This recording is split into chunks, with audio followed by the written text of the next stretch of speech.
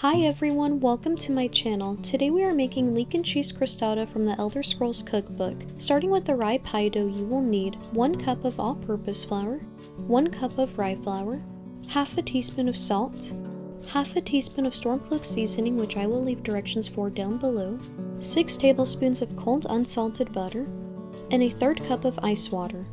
In a medium bowl, combine the all-purpose flour, rye flour, salt, and Stormcloak seasoning. Now rub in the butter until you have a consistency like coarse breadcrumbs. Once you have your coarse breadcrumbs consistency, add just enough ice water to bring the dough together. Form the dough into a disc, wrap in plastic wrap and refrigerate for at least 30 minutes or until ready to use. Once your dough is finished chilling, preheat your oven to 350 degrees Fahrenheit. Next, roll out the pie dough on a lightly floured surface to an eighth inch thick while trying to keep a roughly round shape. Carefully place your dough over a baking sheet lined with parchment paper and set it aside while we make the filling. For the filling, you will need 2 large leeks, 2 tablespoons of unsalted butter, 1 tablespoon of all-purpose flour, a third to half cup of heavy cream, 1 cup of shredded cheddar cheese, and 1 tablespoon of grated Parmesan cheese. First melt the butter in a medium skillet over medium heat.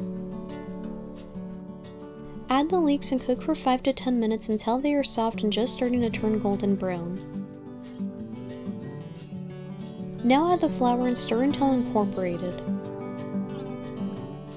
Pour in the heavy cream a little at a time stirring until it has been mostly absorbed and the mixture has thickened.